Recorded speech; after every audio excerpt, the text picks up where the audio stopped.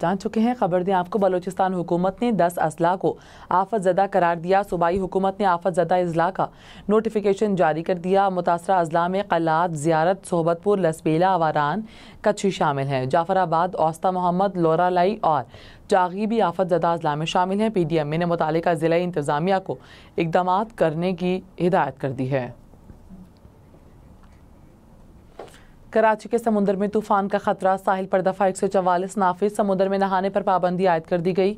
माही गिरों को समुद्र में जाने से रोक दिया गया। सी वी यू की साहिली पट्टी पर गाड़ियों की एंट्री बंद है। वही अरब में हवा के कम दबाव का सिस्टम आज शाम तक तूफ़ान में तब्दील होने का इम्कान है। कराची में सैलाबी सूरत हाल की वार्निंग, स्कूल और कॉलेज आज बंद। रात को होने वाली मूसलाधार बारिश के बायस कई अहम शाहराएँ पानी में डूबी रही मेयर कराची मुर्तजा वहाब ने रात गए शहर के मुख्तलिफ़ इलाकों का दौरा किया। बारिश के बाद नकासी आप का जायजा लिया। महकमे मौसमियात ने कराची में मजीद बारिश की पेशगोई की है। कराची के साहिल पर दफ़ा एक सौ चवालीस नाफिज कर दी गई। दोपहर या शाम तक समुद्र में तोगयानी का खतरा है। समुंदर में बुलंद लहरों के खदशात के बायस नहाने पर पाबंदी है। सी व्यू की साहिली पट्टी पर गाड़ियों की एंट्री बंद कर दी गई। पुलिस की जानब से समुद्र में आने वाले शहरियों को वापस भेजा जा रहा है। बात करेंगे वहाँ पर मौजूद नुमाइंदा हम न्यूज़ साजिद दवान से। साजिद बताएगा क्या तफसलात हैं? जी, इस वक्त मैं मौजूद हूँ कराची के साहिल सीवियो पर और यहाँ पर आज दफ़ा 144 का नफाज किया गया है और इसकी वजह यही बताई जा रही है कि समंदर में जो है वो तोगयानी के ख़तरात हैं और तेज़ बारिश के इम्कान हैं, जिसके बाद यहाँ पर जो मुतल इदारे हैं उनकी जानब से दफ़ा 144 का नफाज किया गया है।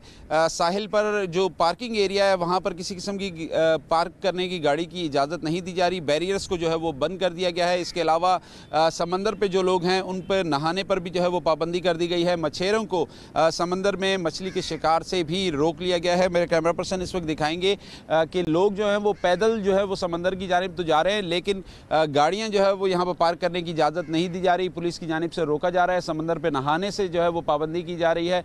क्योंकि इस वक्त हम देख रहे हैं कि समंदर में जो लहरें हैं, जो हाई टाइड्स हैं, वो इस वक्त बनती हुई नज़र आ रही हैं और महकमे मौसमियात के मुताबिक आज शाम तक जो है वो तेज़ बारिश के भी शहर में इम्कान हैं और उसके साथ साथ जो समंदर में है वो तोगयानी जो है उस, उसके बढ़ने के इम्कान भी जो है वो ज़ाहिर किए गए गुजशत रात जो है वो काफ़ी तेज़ बारिश शहर में मुख्तलिफ़ इलाकों में बरसी है और आज भी यही इम्कान ज़ाहिर किया जा रहा है कि आज शाम तक जो है वो तेज़ बारिश के इम्कान हैं। जी।